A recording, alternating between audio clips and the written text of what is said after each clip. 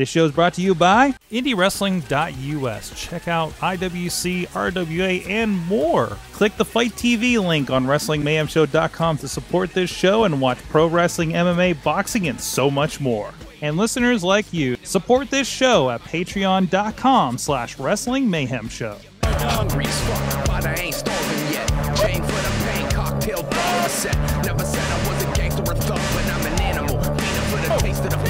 Hey guys, it's the Indie Mayhem Show. Mike Sorg at Sorgatron on the Twitter, ready to talk some independent pro wrestling with a great, great guest uh, today. And I love different concepts in pro wrestling, but we'll get in that in a moment. In the meantime, please subscribe to this show and the others on the Wrestling Mayhem Show network over on iTunes, Stitcher, Spreaker, iHeartRadio, and of course, video versions on the Wrestling Mayhem Show Facebook and YouTube page. And also keep an eye we got live streaming on both those pages for Wrestling Mayhem Show, YouTube and Facebook. The interviews for this, the Indie Mayhem Show, often happen on the Facebook page. You can join us live when you see a notification or see an event pop up for these. Or, of course, our, our, our review shows, the Midweek War and the Raw Wrap Up over on YouTube Live. So I encourage you to subscribe and like all the pages so you never miss a minute of mayhem. Uh, so, and of course, please support us on patreon.com slash wrestling mayhem show if you're liking the conversations that we're having and support all of our friends you heard at the top of the show. Uh, with me, I, you know, we got an email a little bit ago about an interesting concept. And as you know, we talked to uh, the director here locally in Pittsburgh of the elaborate entrance of Chad Deity and some other concepts. And we've talked about them on the show in the past. These, these curious alternative wrestling ideas. And we have Jason Static on the line with us right now of Conquer Pro Wrestling. That's doing something a bit different. How you doing, Jason? Pretty good, man. How are you? Awesome. Uh, so, so before we get into Conquer and what Conquer is, and obviously if you're involved in a project like this, you gotta love wrestling, right? So the first question we like to ask is, uh, how did you like? What's your, kind of your first memory? How'd you get into wrestling? Uh, first memory, uh, probably around four or five years old, just Saturday mornings, you know, and you know, in front of the TV with mom, watching uh, WWF, NWA, uh, you know, anybody like you know Snuka, Barry Windham, you name it, the '80s, the Road Warriors, all those guys, and just uh, got hooked on it from there. Thank mom for that one. That's awesome. I love it when like the mom or the grandma is is, is the influence to get somebody into pro wrestling uh, for stuff like mm-hmm. that. So, um, so tell me a little bit about Conquer Pro Wrestling. It's it it's kind of an independent pro wrestling, but you're doing something a little bit different. How do you describe it? Uh, what I like to call it is uh, the first time ever crossover of the arts between performing arts and professional wrestling. So it's uh, one big story where the actors and wrestlers are sharing the stage and the ring. Uh, they're, they're both their worlds in one night. So where you know actors are acting and wrestlers are wrestling. So that's the best I could describe it uh, for you. So, so, so tell me about a little bit. So you're you, like you're presenting this as an independent show. You do have wrestlers performing. Like, how does that cross over? Like, are the actors like the the announcers and things like that? Is is that how it works out? Yeah, good good point on that one. I mean, like, uh, yes, uh, one of uh, one of the uh, actors, uh, his name is Benjamin Benya, a pure actor who loves wrestling, like out of his mind, insane. He's an encyclopedia. And uh, when he was doing his audition, he was going for a couple of parts as as uh, the wrestling promoter, and uh, you know um, uh, another guy on the side. And then finally, we were like, he was he was good, but we were just weren't he wasn't clicking with the part and we were like, hey, like, you do play by play? You know, you want to call a match? So he goes, sure. You know, and uh, so uh, he, we put him in front of a, a laptop computer. It's it's a it's a dark match uh, between Neville and Sami Zayn on the internet, and uh, they say, okay, man, just call the action. So just put up the volume, and I got a, I got a, I got my cell phone behind him, and I'm I'm recording him, and I'm listening to the, the, the stuff coming out of his mouth and he he sounded like you could give that guy a deal tomorrow to, to announce for NXT. Nice. I mean, he is that good. He is that good. And I just look I look at the director for a second, and I was like, I don't need to hear anymore.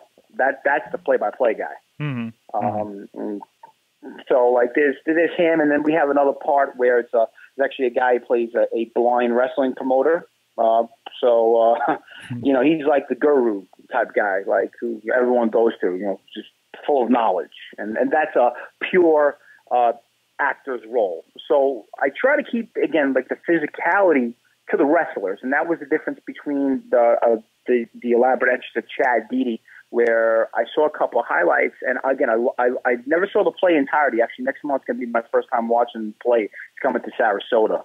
Uh, but it, it's just that was one thing that I believe it was lacking that it didn't have full physicality. Mm-hmm. So, so again, you're kind of like leaning more towards like a re, you know a wrestling show versus a, a play that happens in a wrestling ring, like like I believe that one does, right?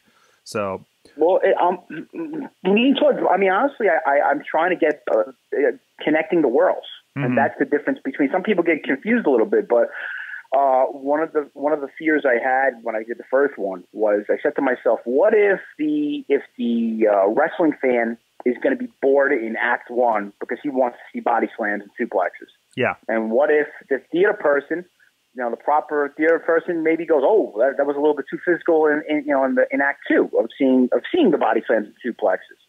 But uh, everyone pretty much reacted the way you know it, it was. It, it came out perfect. I can't believe it. You know, I, I it came out really well you know, and watching some of the video that you posted, um, um, some some clips from from the performance on uh, the uh, Facebook event for this uh, interview, uh, which I'm showing some clips of it here on, on the show. Uh, but uh, mm-hmm. it, it, you know, I noticed you know you have the you have the matches, and then you do like a ringside interview. It felt a little bit you know up here we call it like you know the studio wrestling kind of thing, or the you know uh, uh, the the Georgia pro wrestling maybe maybe more in your area, mm-hmm. right? Where you you it's that studio wrestling kind of vibe to it a little bit, and, and you know it seems like you're telling that story through the night as for as opposed to it being you know an ongoing promotions kind of connection, right? Yeah, yes, exactly. I'm just trying, you know, again, I'm trying to show the theater world, uh, you know, all aspects of, of pro wrestling for, for what I have, you know, to work with. Mm-hmm. So, like that, I believe that that that scene they showed you was from the first play, uh, and uh, that part. I mean, we were in a three quarter thrust style theater. Uh, which is like that arena setting, which is was perfect. It wasn't like we had it where the ring we have we had shows where the ring was on a stage and that one was the floor was actually the stage you know and uh it just we're just trying to show all the aspects of what we're working with and you know to to give the theater world there's a lot of theater guys out there that honestly never gave pro wrestling a shot. That was their first time ever seeing anything like that. Mm-hmm. so just wanted to you know give it out there you know I, every time the first the first time where this kind of crossed my mind was I don't know if you're familiar, with Mike Kingston's uh, Headlocked comic book where it starts off with a kid that's a theater major that leaves school to go become a pro wrestler because he sees the connections there. Um, where did that kind of start with you for you know saying uh, there this would work great in a theater setting? Okay. Oh yeah, yeah, perfect, man. I just about a, a year ago, I was losing a little bit of the buzz for actually continue wrestling. I mean, mm-hmm. I've been doing it over 15 years. And right. I'm, you know, I know I, I, I got to admit it. I was losing the buzz. A lot of people don't like to admit it, but I'm being truthful. I was, and uh, I just started writing on my own, just writing different things, and and it had nothing to do with wrestling. Honestly, it had it had to do with you know uh, fitness and Christmas and you name it, every topic under the under the sun. And I I contacted a, a local playwright who's pretty popular. His name is Robert Wynn Anderson of the Garden Theater. And I said to him, you know, you mind meeting me? And, you know, I want to show you this, you know, this paper that I wrote. And he goes, yeah, no problem. He was really, you know, we met at a Starbucks, had a coffee. He looked at it and, you know, he read it and he goes, did you write this? And uh, I was like, yeah, well, we're going to play. It was just about maybe like a three page story, you know. And uh, he, and I, I thought he was going to tell me it sucked, you know. and, he, and he goes, no, he, he goes, no. He goes, actually, it's really good and he invited me to a singing in the rain auditions on a Wednesday night at the theater uh, the following week. And I'm sitting down, he's showing. It was very similar to wrestling because he was in, he was auditioning uh, a part. You know, and it was it was actually it was just it was someone doing a solo song, and uh, you saw different characters. And right away, it was like watching guys interview, you know, doing promos and, and tryouts. You know, where it was like right away, it was like that guy's nervous, that guy's not confident you know, you know that that one's moving around too much. You know, that one has his hands in front of his face, and it was like, no, no, maybe yes, and it was very similar to to a WWE or Impact tryout. You know, that you would go that you would go to. So that was a similar similar uh, uh, standpoint. But what happened was uh, he go he, he's the one that introduced me to the elaborate entrance of Chad Deity. Because he goes, you wrestle. He goes, why don't you check this out? And when I checked it out, I, I saw every I looked up every clip on YouTube of all the making and the, and the behind the scenes and different different productions and you name it. Uh, even Al Snow worked as one of the fight choreographers in one of the elaborate of Chad Deity productions. And I was looking at everything, and the one thing it was missing was when I, I was watching actors lock up or actors doing a certain move. And I said, eh, it's not physical. It's not enough. It's not believable. Uh, the, the, again, the sets looked great. They had the, one of the sets had a big screen like a Titantron. It looked really good. But just the one thing I just said it was lacking, in my opinion, from a wrestler standpoint, was like, ah, no physicality. And then a, a light bulb popped up and said, why don't you write? You, you already know you could write, write a play that you could put everything together. And, and that actually got me hungry again for wrestling. That's great. That's great. So, um, how how long has this been running? You know, what's the response been uh, to this? And I guess the big question is, you know, do you see a lot of the the the play population coming, or is it a lot of wrestling fans? Is it kind of 50-50? Uh, it's a it's a 50 50. Mm-hmm. Uh, it, it, the first production was June 4th of last year, and it, it ran in the uh, Orlando Shakespeare Center, which is that three quarter thrust theater that I showed you. Mm-hmm. Uh, that theater holds about four, 400 seats. Uh, we had three productions total. Uh, we actually went to the Garden Theater where the idea came from, where the ring was on stage. We, we put it there. We were at the Wayne Densch Performing Arts Center, and other, all theaters that pretty much hold around three, four hundred seats. Uh, the reaction, I'm going to tell you from uh, there's three things that people were saying uh, from the fans on theater and wrestling side, from the wrestlers, the actors. They were all saying a couple of things, and they're all positive feedback. One thing was that hey, this is something totally different. The the second thing was this is very this is fun. This is there's no you know everything was like teamwork and you know from even from the actors and wrestlers standpoint, no one was competing like where sometimes in the in the wrestling locker room it seems like sometimes there's not teamwork. Sometimes there's a lot of you know you pretty much you get you get there, you get your finish, you get you get your shit in, you get paid, you go home and you know get over. And it's kind of like that. Yeah, that happens, but it was more of a, a friendlier environment where everyone contributed so, you know, that was different. Um, they all said, from the fan to the performer on both sides, we would come again. We would work for you again. You know, and that was, these are all things that came, came together. Uh, the atmosphere again, like the, the, you know, the wrestlers were not used to, uh, like certain locker rooms being, you know, you know, sometimes you get changed in, in a bathroom or, you know, or anywhere you could put your bag down. It was, it was different. And, uh, last thing was the, the, the curtain call. No, not the DX curtain call, but the, the curtain call of like at the end of the scene of a play, the last scene is all the wrestlers are in the ring. And usually on curtain calls in theater atmospheres, everybody in the crowd stands up and gives you a standing ovation. So the wrestlers were like, like, like baffled that like you have 400 people in the seats standing up, giving you a standing ovation at the end of the night. And like on an independent show, you ain't gonna get that. No, you know that's one thing that that will won't happen. You might get a "This is awesome" chant, but standing ovation very very hard. That's awesome. That's great. So so where are you at with this? Like, what's kind of the future of this concept? Uh, I again, I'm, what I would like to do is to like I tell people I tell both of them again the being them in two two types of atmospheres the wrestling atmosphere and the theater atmosphere is to I like to say it create contribute create and contribute. Not to compete. I don't want to compete with other indies or or or to compete with another theater production. It's to create something new con- contribute to the community in theater communities pro wrestling communities. Um, I like to honestly, I'm going to say, focus on bringing it to a to the theater. You know, because it's more, it's a little over theater production than wrestling. I would not want to bring it to a high school gym. Right. I, I like the theater atmosphere.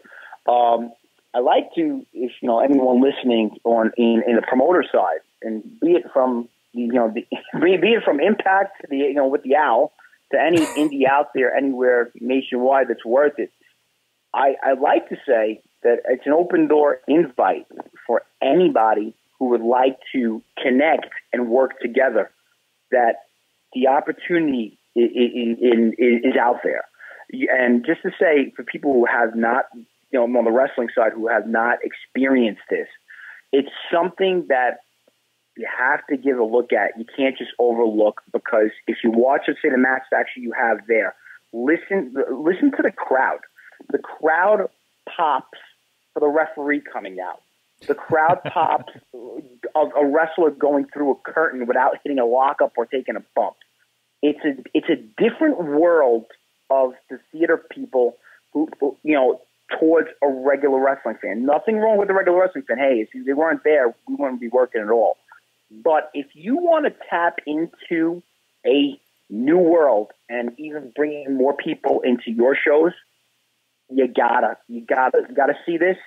And please, if you like it, hit me up because it's, I believe it's worth it. That's great. Uh, it sounds like an awesome thing. So, so tell me, what are you watching these days that maybe influence you in, in wrestling, or maybe things you, you hope to bring over to this? What's kind of catching your, your your attention, whether it be certain wrestlers or certain promotions out there? Well, uh, can you repeat that, please? You came in a little foggy. On that That's all right. Uh, connection issues. Uh, but uh, what are you, what are you watching these days that uh, are kind of inspiring you or catching your attention in pro wrestling? Uh, you know, I, I used to like, I, I watch a little of everything. I mean, you got to watch the products out there. I mean, like, you know, be it from if it's ROH to, you know, Impact, which, again, right now it's in Florida, it's tough to get unless you got pop. But, you know, you got to get it, you know, pretty much you can get everything on the internet. Uh, NXT is cool. But I, I used to, again, from the wrestling standpoint, you know, I, I was big tapes, studying tapes throughout the night looking for the for the next armbar, for, for the, the next chain wrestling hold that's never been done or hasn't been done in a while. Uh, I kind of changed that a little bit, where it's more. Uh, I'm looking at things from a from storytelling standpoint of more looking at different finishes or different stories. You know, just again, it's a storytelling business, but you know, again, just to to look at that and hey, take take little things of everything and not saying steal it, but you know, make it your own. Let, let those light bulbs. I'm, I'm watching everything. You get, you got. It's awesome. Um, what is uh, you know? Of course, you say you've been in the wrestling uh, uh, business for for a good good while now. Um, what's let me switch it up a little bit because uh, I usually ask what's the best mm-hmm. and worst thing about independent pro wrestling, but what's the best and worst thing about pro wrestling on the theater side? The best and worst thing. Oh man, uh, the best thing I got to say from, from from what I'm experiencing is is the reactions, mm-hmm. the pops. It's just it's just listening to the crowd. Uh, everything honestly, from the locker rooms, from, the different types of locker rooms, from the different settings. I mean, working on shows, in, you know, in theater. I mean, like it's just even even the music setup, the lighting, uh, just having all those little extra theater things added on into your wrestling show. It, it eliminates the high school gym atmosphere. That's the that's the, the, the best thing I could say of what I like about it. Uh, worst worst thing, oof. Uh, I'm I'm I'm gonna say that maybe just putting maybe the the, the, the time the, the time to, to do this stuff mm-hmm. where it's it, it's a lot of time. It's it's not like you could just get in there quick, you know. And I'm looking at it from from a from a writer standpoint now. You know, again, it's a little easier on the boys coming in, getting your finish. You know, I'm still trying to make it as easy as possible for them, but it's just the setup of doing more uh, to make it special. you know, it's just it, it's it's straining, but it's worth it. That's awesome. Uh, so, what's coming up? Where can people check out uh, uh, Conquer online, or if they're in the area for you? Okay, well, you got the Facebook page, Conquer Pro. Look up CPW. We don't play fight. Um, Twitter at Conquer, all capital letters, and then PW. Um, if you want to look up for the shows coming up, we have four shows lined up in May at the Orlando Fringe Festival, which is a huge, huge, about 10, no joke, 10,000 people, 14 days straight of performing arts, all theater. Uh, multiple theaters, beer tents, food trucks. It's it's it's a huge festival. It's like the WrestleMania of theater. And uh, to get information on that, you go to orlandofringe.org. We have four shows lined up, which is we are opening up on May 20th uh, at 12:45 in the afternoon. May 23rd, 7:15 show. May 26th. I don't know if you ever seen a show start at midnight, and May 28th at 4:30 is the finale. The 28th show is going to be mostly wrestling, so we're kind of trying to. And each show is different, unlike every theater show. If you go to you know you see a normal theater show, it's just okay the same show four times straight. Uh, you're going to have four different shows. The three shows are pretty much like, let's say, watching Monday Night Raw or NXT, you know, three weeks straight, and then you have the NXT Takeover, the big pay per view. It's kind of gonna, it's gonna be like leading up to that. So it's like if you're going to see it for the first time, you'll get, you know, you'll, it'll be cool for you. But you're probably going to want to come back to see the second one and the third one because it's going to be a little of everything.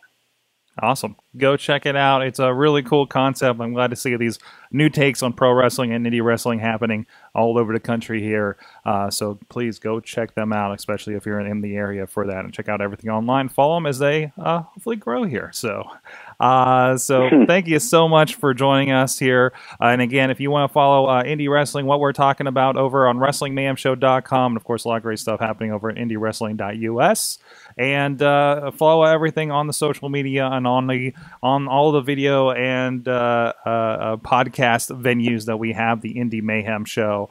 Uh, thank you so much to my guests this week. And remember, until next time, support indie wrestling and I guess indie theater as well.